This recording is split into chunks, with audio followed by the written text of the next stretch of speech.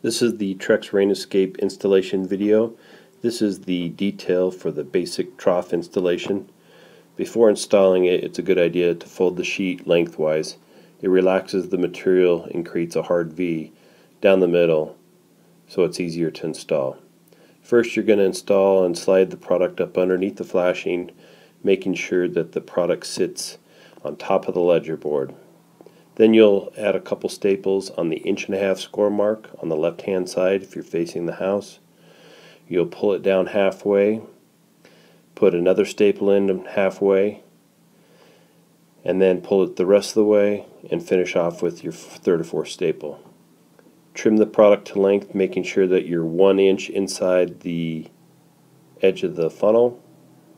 Back roll the product to take out the memory and then line up the inside of the next score mark on the other joist making sure that you're using the score mark as a guideline.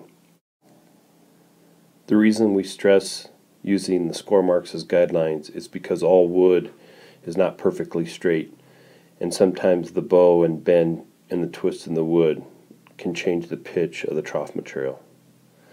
Once you've installed the first trough you're going to continue to the left, making sure that the inch and a half score mark is underneath the adjacent trough material. We have two methods of sealing the overlaps on the trough material. One is going to be a caulking method. A 10.5 ounce tube of butyl caulking will be applied in between the overlapping layers.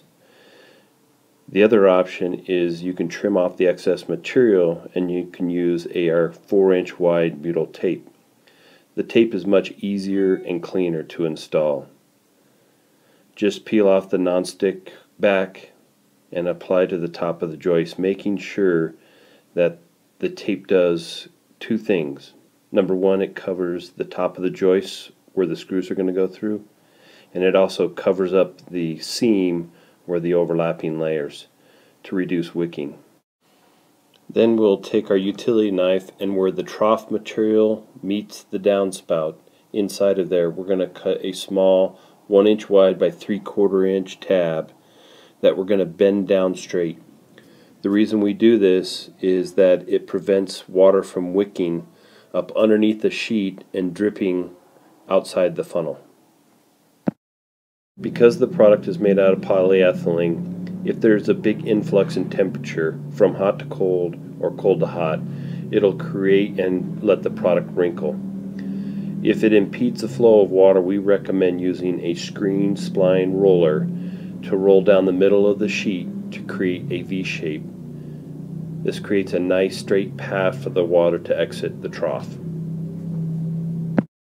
If you have any questions on this installation or any other questions regarding the Trex RainEscape product, please call toll free 877 348 1385.